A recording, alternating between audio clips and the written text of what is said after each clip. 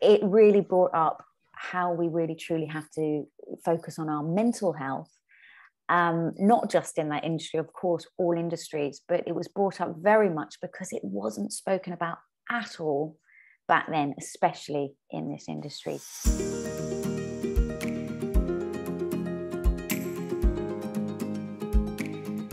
So, what do we have in store for you in today's conversation? So, let me ask you a couple of questions. Have you ever been in a situation where you felt like you just need to play it a little bit bigger to be noticed? Have you ever been around those really extroverted friends that appear to have the edge um, when it comes to engaging with people? Well, today's guest is intimacy, confidence coach, and actor Suzy Bastone.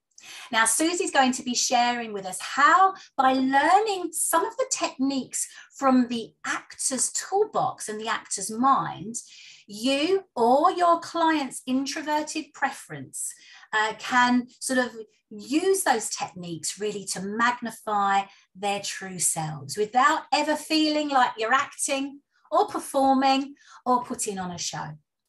And, so, what we're going to talk about today is how you or your clients can build the confidence to present by understanding how powerful our inward expression can actually be and how that can bring to, to the surface things that will really get you noticed without having to be the loudest. I certainly have found in my experience, there's a misconception in society out there that confidence is all about being, you know, the, the loudest person in the room. Today is another brilliant coaching conversation. It's going to be packed with information, practical tips, nuggets of inspiration. And so I am so excited to introduce to you the lovely Suzy Bastone. Welcome, Suzy. Hello, guys. Hi. Thank you, Sharon, for having me. I'm very excited as well. And there's so many people here. It's really lovely to see. So, no, thank you. Thank you. I'm very excited about this today, but also this subject is very close to my heart. So, I hope I can ah. share some some wisdom with you guys. Oh, I cannot wait because when we've had little sort of uh, conversations before, you know, they have always been so insightful and so interesting that I think so many people are going to find it helpful today. So, yeah. yeah, so I'm looking forward to it too. Good, good, good. So, Suzy, as you probably know, because I know you've uh, listened in on other coaching conversations that we've done in the past, I usually always start asking all my guests about their journey because our stories make us who we are. And so, if you don't mind starting right at the beginning about your personal journey and why you chose to train to be a coach. Okay, and this is a very long story, so I'll, I'll, cut it. I'll cut it as short as I can. Um, yeah, so I've been an actor for since I was my goodness, probably about five years old, but officially trained as an actor from um, to oh my goodness when I was seventeen, and it was such a passion from a young age, and so, uh, I felt probably from a very young age that I had that creativity in my bones, I guess, um, all that feeling of wanting to express in that way, because I do believe we've all got different ways of expressing our creativity. That was definitely mine back then. And I spent, I was lucky enough um, with that and very a lot of hard work lucky enough to go into West End shows, which I was more of a, a musical theatre performer back in those days um, a fascinating industry. Uh, there was lots of ups and downs, as you can imagine, over the past 20 years um, with, with this industry and this career. The people that you come across, the different types of personalities, the, the, the, the loudness, the, the drama, the jazz hands, all of that stuff, as you can imagine, it is real. And um, I guess from a very young age, without knowing it back then, I was always asking those questions of what where do i fit in here where does my personality fit in what am i comfortable with what am i not comfortable with that I've always not known I've been comfortable with. Mm. So, all these questions about different personality types before I ever knew about this kind of stuff and the coaching aspect of of all the models that we can really study to to understand people better to build better relationships with people so going back i spent again 20 years doing all these wonderful wonderful jobs uh, when i was 22 so this was actually at the very start of my career so in 2002 i was doing a wonderful show in germany called Starlight Express. I'm sure a lot of you have, have heard of that show. It was a wonderful show, something I'd watched when I was my goodness so so young and always um, admired those those types of actors. So i went into that show it was wonderful and i happened to have a um, a bad motorbike accident on the way to work. And it was it was a game changer for me. I was young i was fit alive um, full of kind of passion for what i was doing. So it did stop me in my tracks i must say. And it was a game changer to how i viewed the importance not just of physicality because being a, a, a, also a trained dancer physicality was very very important and and a lot of the focus was on physicality alone. It really brought up how we really truly have to focus on our mental health um, not just in that industry, of course, all industries, but it was brought up very much because it wasn't spoken about at all back then, especially in this industry. So it was something I was very aware of um, from a young age. It, it, made me grow up a lot, I would say, um, but also it made me really retreat into myself which in hindsight was there was there's definitely pros and cons to that. I um, it took me a, a lot of time uh, to in re- rehabilitation, um, and it was something that was a continual growth from then.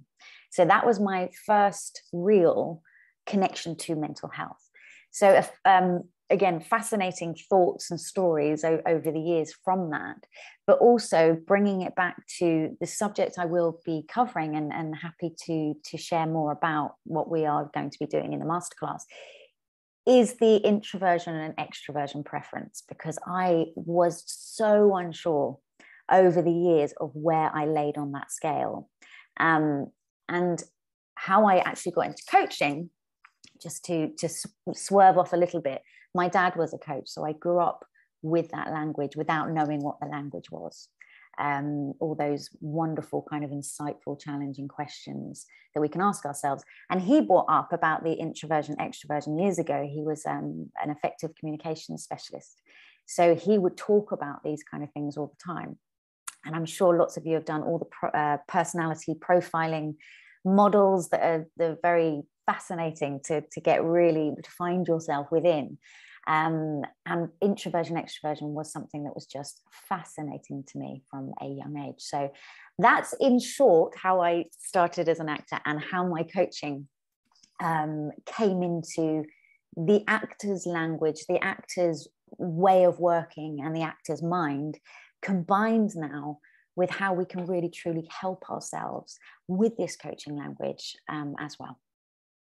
Wonderful, really powerful story. And it's interesting, isn't it? You know, you were saying that um, the the motorbike accident was sort of a, a life changing um, experience. Um, and um, it's interesting when many of us have experiences that we, we don't realize at the time um, can really present themselves as a gift and or an opportunity yeah. um, at the time we just think oh my goodness this is like horrendous and my you know my life is never going to be the same again retrospectively it sounds as though I don't know, so forgive me if uh, I, am off beam here, but it, it, it sounds as though that life changing event you have reframed into being a, a, gift and an opportunity because it has brought you to where you are now. Yeah, you, you couldn't have framed that better. It was, it's true, obviously, we have things that happen to us and that you know those lovely sayings of it's it's what we do with that and over the years without really realizing where my direction was going in terms of this this uh, side of my career um, in the coaching sense it was very much, I always had this thought how can I turn what happened? So, you know, in terms of near death experience, which led to uh, mild depression, which led to PTSD, which led to lots of other things that obviously come off of those things happening, of course. It's how we deal with them and how can I make it some kind of impact with these experiences and, and pass them on which again is is what we all do as as coaches and hopefully find a, a passion our passion in life to be able to combine our creativity with our business at the same time. So yes you're absolutely right. It was it was turning on its head, head its head which is again the true coaching language in terms of how can we reframe this or the nlp language Mm, wow, really powerful. Now, you mentioned uh, at the beginning uh, that you're um, an intimacy and confidence coach. Mm-hmm. So, you know, we all I mean, we know that language is subjective, don't we? You know, so what does it actually? What does that actually mean? The intimacy side of things. Yeah. it's it's fascinating. I know we, we, I've been speaking to you about this before. It's um it's something that I've added i've always been a confidence resilience coach because again because of my background that was something that was the passion that i was drawn toward now also it, it there was something within the intimacy coaching which in short is finding our love from within to for want of a better word so it's almost like the the spirituality and the rational brain kind of for me coming together so it's almost like my my, for want of a better word, woo-woo side coming into the, the, the coaching language at the same time, that go get them coaching language. Um, so for me, it's, it's a lot of there are there will be and further in my my development as an intimacy coach, there is a lot of work around sexual trauma based um, based therapies within there. Um, on the basic level, it's very much about things I already cover in terms of the uh, coping with anxiety, how to deal with um, setbacks, how to come back, reframe, like we've spoken about before, and lots of things about knowing thyself. So if we go within, first of all, rather than expecting or wanting continuous outside validation, we do really need to, to go in. And, and to, to tell you another quick, very quick story. So I was speaking to Maria before everyone came on, and the last time I saw everyone from the Coaching Academy in person was 2019. Um, and I, and then I said to Maria, oh, that, yes. And then I, I buggered off to Brazil for a couple of years. And I did. I happened to go to Brazil um, and, and came back in 2020 and that was my pause place. And it was it was me rediscovering this for want of a better word intimacy side of myself. So i was mm-hmm. doing lots of energetic healing work with um, a partner out there. And it was almost like brought up the things that i knew intuitively but didn't necessarily have the language for back then. Mm. i was always a very avid meditator. I was a yogi from the day I feel like I was born, um, very much entwined with maybe my dancing background, um, but also this this creativity that all these these types of um, energetic work can involve. So on a basic level, there's breath work involved. There's um, you know somatic shaking, whatever you want to call it. Um, I like to I like the rational and the practical side of it as well. Mm. So there's some fascinating little tools, even on a very basic level, that one can take from from these types of practices. And again, as I said, and mixed with that coaching language of really truly allowing someone to be empowered themselves to find what their love, what their passion, what their creativity is, is a match made in heaven, in my my opinion. Mm. it's interesting, isn't it? Because you know, it, it does when you explain it like that, it does go hand in hand in, in my head anyway, because you know if we if we are going to um you know we are our our first coach anyway so you know if we're if we're going to be coaching others we need to ensure that we've you know we've been coached or we're coaching ourselves as well um, in in making sure that we walk our talk but i guess if we're not fully confident in who we are, so you talk about that intimacy going inwards, if we're not really comfortable with our true authentic selves, mm. then actually you know we are performing at life to sort of talk about it talk about it in actors terms. We're performing at life aren't we? Rather than living our life. We're performing at being maybe who others want us to be. Rather than being who we truly deserve to be. And, and i guess that's the same for our clients too. Yeah you're right. I mean what we co- will cover in the masterclass as well, and what I love to talk about, which I'll say a little bit about now, is the confidence beneath. Mm. and, and finding, for want of a better word, finding our quiet place in our head, finding our, our grounding, which I, I love that word and hold on to it so dearly. Um, whether say if i was going out to perform and take the the couple of years or, quite a few years after the accident that i personally um, experienced and the the ramifications of that accident mentally how i had inbuilt in me without realizing at the time the the tools those actors tools to be able to uh, show confidence when you're not feeling it and there's some real gems to be taken away from that because i'm not by any means suggesting that that's what we should do to to to be confident although mm. there is something in that too in the change of body language the the change of our own language. Uh, there's so many beautiful remedies quick fixes for being able to to perceive you uh, others to perceive you as confident.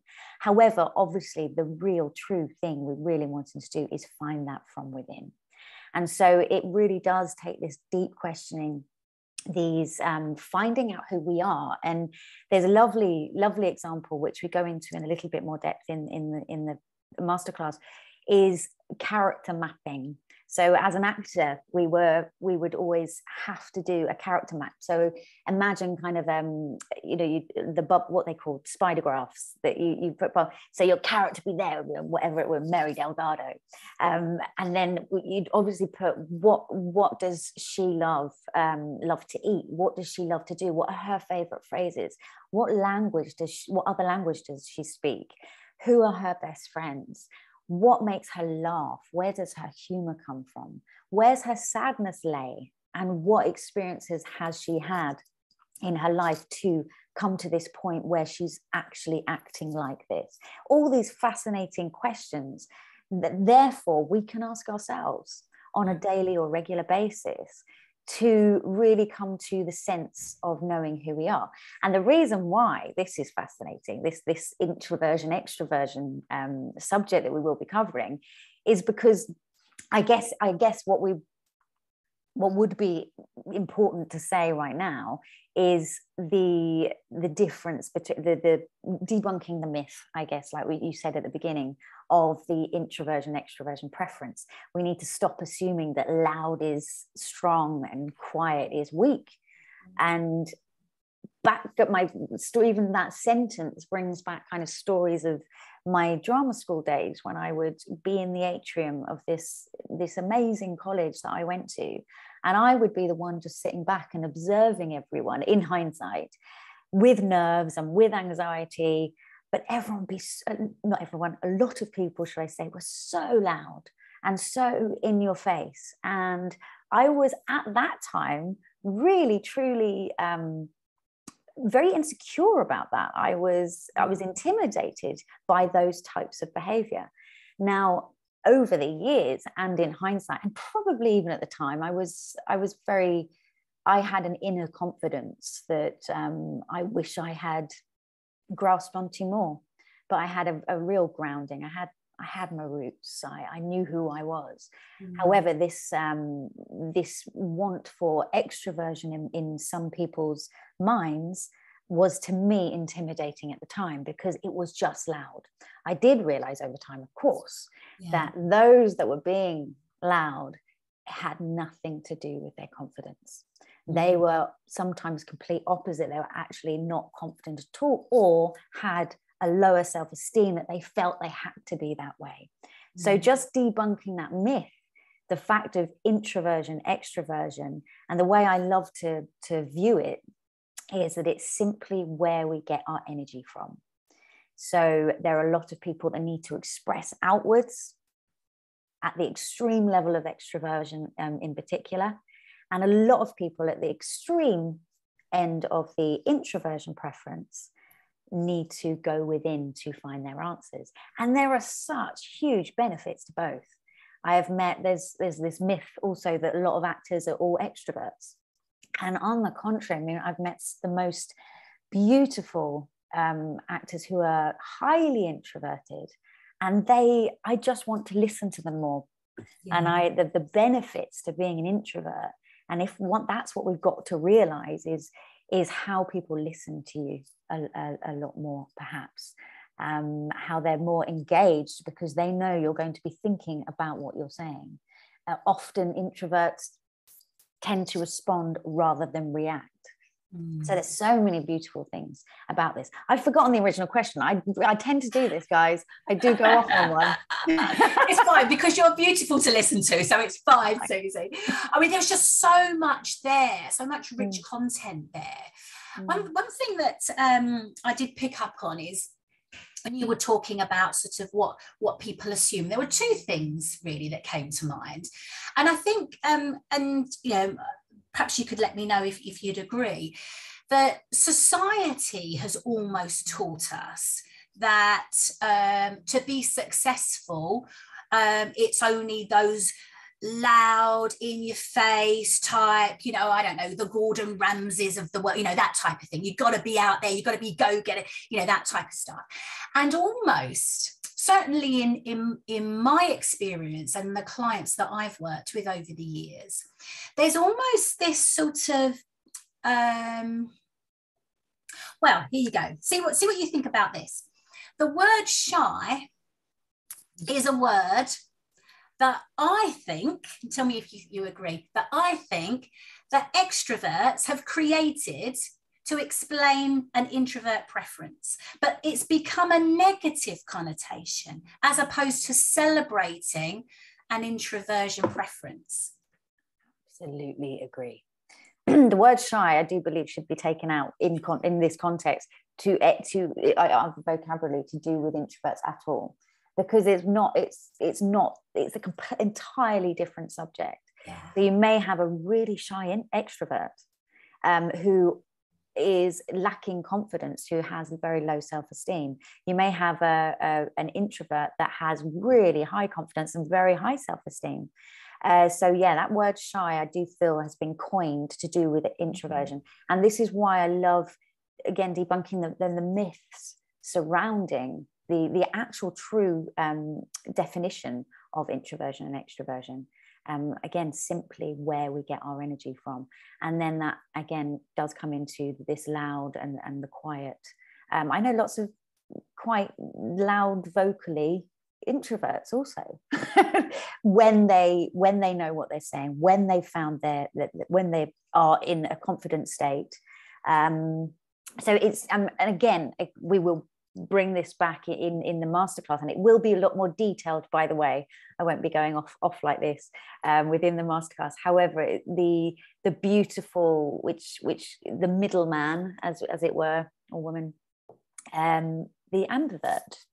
So if you're in the middle of this scale as well, which I do believe these days I possibly have found myself there, which potentially is why I found it very confusing over the years yeah. for understanding the, the, the scales and the differences between behaviors coming from where our energy lies fantastic. It was just mm-hmm. fascinating. I just love the whole sort of introversion, extroversion thing. So you know, perhaps you'll expand on that a little bit more as we go through. One of the things you you have mentioned is, is how important it is to speak from the heart. Tell, tell me why you think that's really important in this context or just generally actually yeah generally as well but yeah yeah bringing it back to this context i mean i do believe that so I'm I'm uh, half Italian, a Sicilian, should I say, is my my background. So I have so let's say I'm very gesturous. I'm very um, passionate again, and you find with lots of Italians. Um, as a, as a stereotype that they use gestures a lot so i'm just giving this as an example um, And the reason for that being is one of my Ita- very uh, Italian, very good friends said it's because we're so passionate. It's because we're so creative and we're so, again, passionate comes that that word again. And it's I kind of went there is some real truth to that. So, in terms of going back to the why it's so important to speak from the heart. And let's relate this to business and our own business for for now for this context is that if we find our passion then surely it's going to be coming from our heart. Then surely it's going to be showing in our bodies. It's going to our body language will be conveying that we're very passionate and that we're very um our creativity is is being passed around the room because we're so passionate about a subject or a niche or what we're what we're saying. So in the masterclass we talk a lot about scripts uh, scripts from the heart. Because if there is something that we don't care about very much we really need to be acting to be able to show to show that. Like you were saying at the beginning sometimes we you know we're acting for the world rather than what we're wanting to be and again you don't be needing to be giving all these gestures. You don't need to be sicilian to to be showing this passion. However this is why i love the the way of explaining this just to magnify our true selves rather than be putting on a show.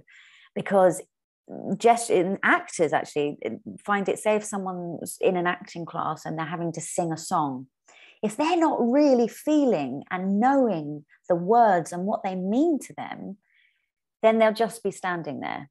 And it, some actors go, Oh, I better put a, an arm in there, or I better do a head movement because I need to be moving. If it doesn't come from your heart, yeah. then it's just going to come across so inauthentic.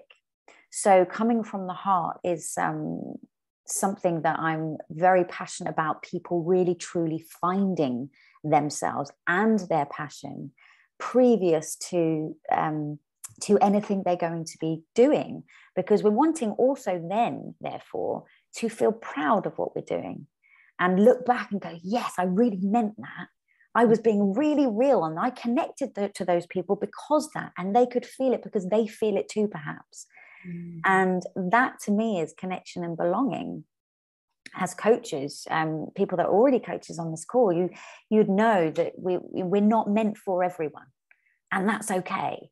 Yeah. But however, that connection, that belonging, comes from connecting with people and from a passion that you you share together. Mm, it's so powerful. And, and, I think you're absolutely right in saying, you know, um, coaching isn't a one size fits all. When we're not meant for everyone and not everyone is meant for us. And mm. I think sometimes perhaps if we're, you know, if we're not feeling confident about who we really are, then perhaps we try and be all things to all people. But I guess what you're saying is if we are speaking from the heart, if we are doing and showing our passion and we're showing up in that way mm. well actually even if we have an introverted preference we're going to be um, displaying, presenting, engaging in a way that actually is, is truly magnetic and comes across as being very confident.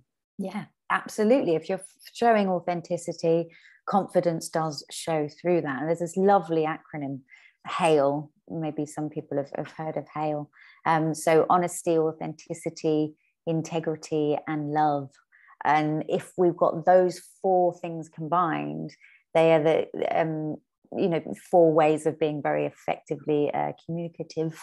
And so, if you've got those four things combined, and, I, and by love, I don't mean in the romantic sense, of course, but in the sense of showing up with with the feeling of I'm I'm wanting to to show love or give love in terms of what I am going to be presenting to people and how they can actually benefit from what I'll be sharing. Mm, so, that sort of yeah. coaching service heart, really, isn't it? Yeah. yeah. Yes, absolutely. You know that. Yeah. Was it? Was it?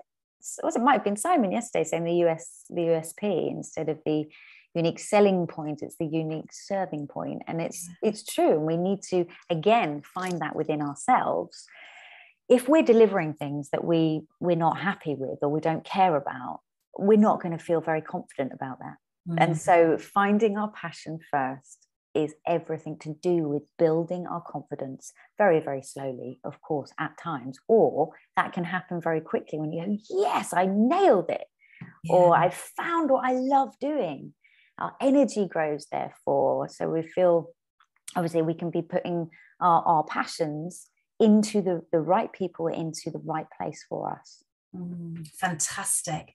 So that you know, I know that you've got loads and loads of sort of different sort of techniques and tips and things that you're going to be sharing, um, and you're going to be sharing one I know later on uh, as a tip, sort of a takeaway uh, sort of tip. Um, and it sort of um, occurred to me when you when you were sort of sharing and in your passion and you know sort of talking about you know showing up authentically and when we were talking before we came on uh, live, um, a Jay Shetty quote, which um, has always been mind blowing to me, but it's so relevant to what we're talking about today, Suzy. So, uh, what Jay said is, um, I am not who I think I am, and I am not who you think I am. I am what you think no, what I think you think I am. So I'm going to say that again. I am not who you think I am. I am not who I think I am. I am what I think you think I am. So that's yeah. quite a mind-blowing thing, right? But that's Jay Shetty for you, isn't it? But it, you know, it, but it is so profound in what we're talking about today because as you were saying if we if we're not able to show up truly then we can't step into who we truly are. And we can't leave all of that baggage behind around, I need to show up in this way. I need to be this person. I need to achieve this goal for that person. It's about living, living, uh, living our own lives. It's very, very true. And I love that quite. And again, it's a, you have to get your head around it, don't you, for a second? it's, so, it's, it's, so true. And I love that. And it, I love things that make, make you think and it, it's so true i mean I, even it takes me back again to that atrium in college going yeah mm, the thought the thoughts of going oh my god am i am i not going to be confident enough or, or what i'm supposed to be to be shine how i'm supposed to do on, yeah, on yeah. the stage or and but then again and it comes back to our thoughts of what other people are thinking yeah and that how that can in fact knock our confidence i mean the the amount of times i've had to walk into a casting suite and, or, or an audition pretending I was confident mm. or had oodles of confidence without being again without I, it took me years to realize that I can just be myself in that room mm. and that those people are uh, just normal people Mm. Actually, that's not true. They're not. No, no, no fear to Don't, don't tell them I said that. Is there anything that's normal in acting? I don't know whether it is in the acting, acting profession. No, there's lots of other things I could say about the acting world too. I'll refrain from. Have a conversation. Yeah. so you're going to be delivering a brilliant masterclass for us, and and I know it sort of runs on on sort of two levels really. So it will be um, suitable for somebody who is just interested in in the topic, but it's going to be very very interactive uh, you know from from what you've sort of explained to me before. It's it's all i know it's going to be really playful. I know there's going to be lots of fun in it and it's going to be to say um, a lot of growth within that. So people will you know won't come out the same as they went in in a very positive way. Yeah. so tell us a little bit more about what people can expect um, from doing this wonderful masterclass with you. Mm. I'm I'm so excited. Again as as I know I'm sure I've expressed enough how passionate I am about this subject. So I'm hoping that um, people really truly take that will take that away from the, uh, with them. And you're right in the terms when you said how playful um, I'm really wanting it to be that way. And it will be a group where we can all feel like we are um, together. So it's a it's a safe space for want of a better phrase to be able to explore different sides of ourselves um, to be able to find what our own um, way of magnifying ourselves are. So there will be a Facebook group previous as well, which um, I know you, will you'll probably mention more about. Um, just for the week running, so I can be sharing ideas because it's such a vast subject and so many different ideas and, and practical tools that we can't potentially fit them all into the three and a half hours, but um, there is enough in there that you can take away to be able to really realize what it is to be practicing to be yourself first. So we will be talking again about the introversion, extroversion. There'll be lots of chat box, there'll be lots of live chats, there will be lots of breakout rooms so that you can discuss with each other. Um, and there'll be some kind of um, if people are willing, so willing participants to practice a script. So I would have asked like a week before that there would be even 60 seconds of having something that you you know um, that you can deliver, even if you don't end up delivering it within the group, that you can deliver about something you're passionate about, for instance. But this will all be explained previously. And then um, there'll be performance of willing participants. We'll be talking about uh, body language. Um, how we can change our body language and what is effective. And again, we can do this very effectively even on Zoom um, to be able to kind of give examples and, and, and advice in that way. Uh, we'll be talking more about what actors do. Vocally, we'll be doing some lovely vocal exercises and the importance of voice, tone, pace, inclinations in our voice, whether we're presenting on a stage or doing a Zoom call or even having a conversation with someone that we want to be really effective with, uh, our clients for instance. We know we, we learn as coaches and continue to practice the the active listening side the, the paraphrasing the feeding back and also having similar language to our clients and how important that is. So it's almost like um, learn learning techniques of of uh, for want of a better word, persuasion um, in the positive sense, and the that rapport that can be built very quickly with these types of things. So all of these techniques and all of these uh, practical tools can be taken into other aspects of your life as well. So there will be. It's not just about becoming um, a better presenter. It's it's it's truly from both ends of the scale of who you are, learning more about that, and then how you can magnify that for your business as well. Wonderful. Sounds amazing. So, um, do I have to be an introvert to come? No. I just want someone might be thinking that question. No. So it sort of sounds like, as I say, there, there's lots there. So it, it could be somebody whom uh, maybe is about to, I don't know, deliver um, a pitch to somebody on, on a piece of work and they could you know maybe practice that type of thing or it might be um, just giving their elevator pitch or you know it so it sounds like that, that these are techniques that people will be able to use and or practice and bring along to that workshop that they mm-hmm. can literally use and take away straight away and and change the way that they are interacting with with with with people and events. Yeah absolutely. This is for for everyone and anyone in this sense in terms of whatever preference you lay with i just uh, really wanted to to highlight that the, the introversion extroversion on mm. this so mm. um uh, and and and the differences with that and so it's going to yeah lots of different ways that you can take these tools and use them for how you you're going to use them and again presentation skills effective communication is something i've studied quite deeply on the other side of my intimacy stuff with the coaching um, for years so it's something that is is so relevant to a lot of what we have to do whether that's again speaking on one to one or in a group whether that's uh, live or, or, online. And so it's, it, yes, definitely, definitely things that people can take away uh, with them and, and implement into their daily conversations and communication even.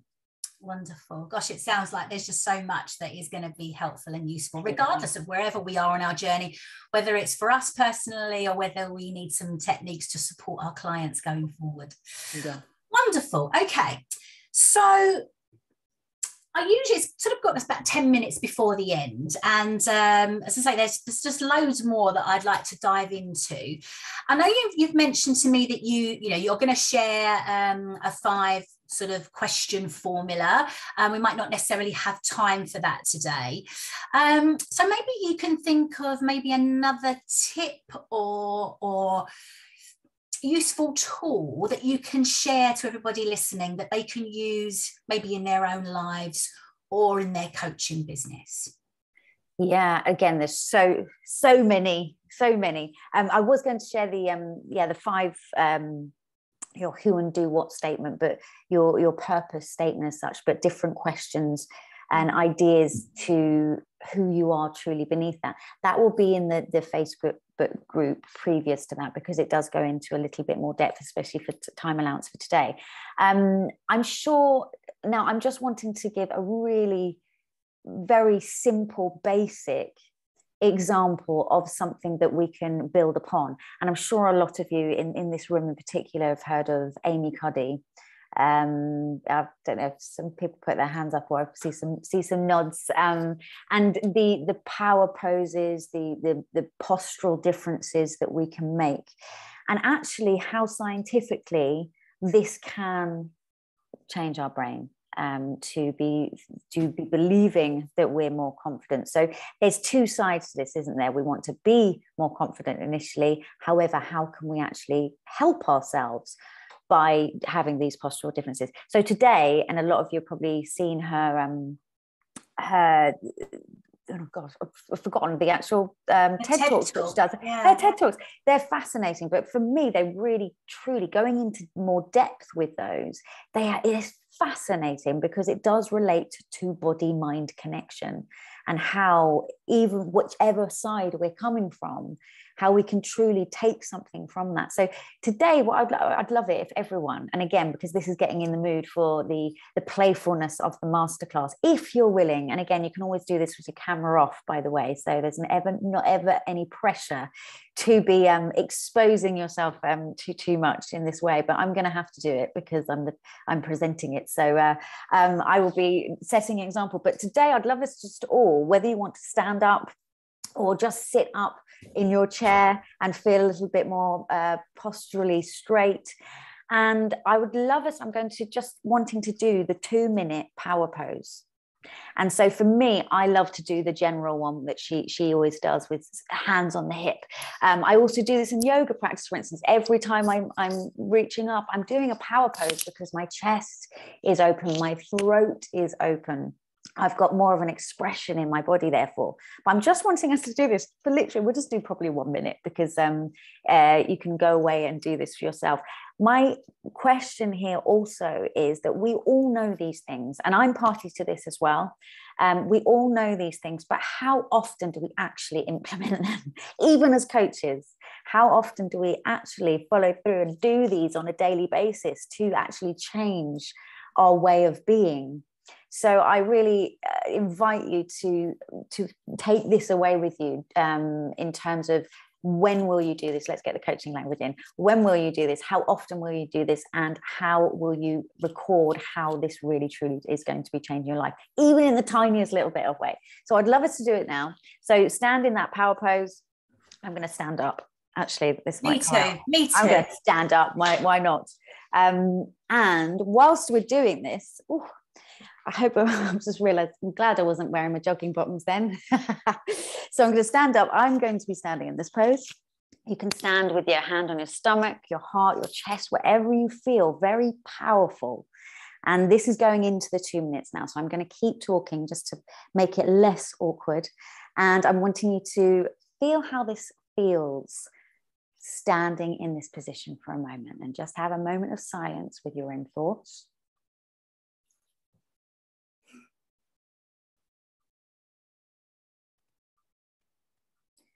Feel your shoulders back, your shoulders down, your chest lifted.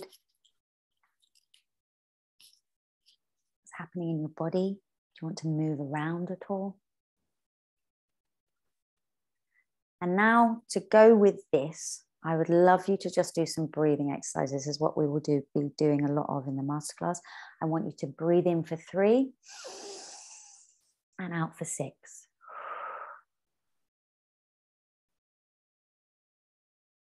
Breathe in for three and out for six.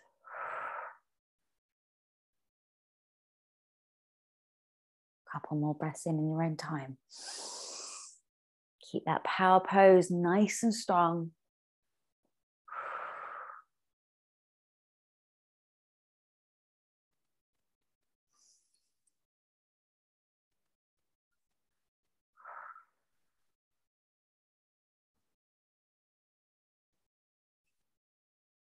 Feel yourself coming back to calm but empowering state.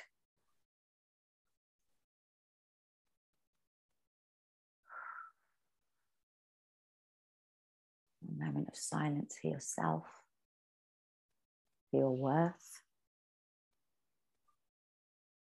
and for your self belief.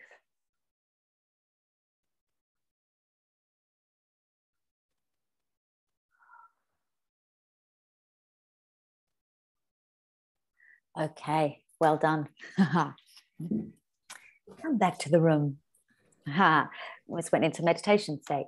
Very simple. How often do we implement this? This is the main reason for doing this. And again, scientifically proven. And yes, um, in the chat says, fake it till you make it. Thank you. Great TED talk. And she does so many others as well. And mm. it's proven that obviously within those two minutes, our cortisol level drops by something like 20%, our um, our testosterone level raises by 22% or something. Therefore, by 30%, we're more likely to follow through on mm-hmm. what we're wanting to achieve. And those tiny little tricks, they're simple. So let's implement them. Yeah, incredible.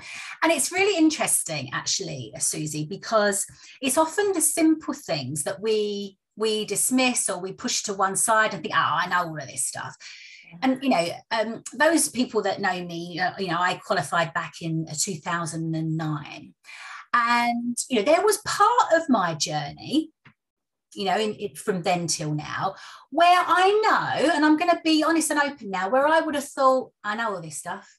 I know all this stuff.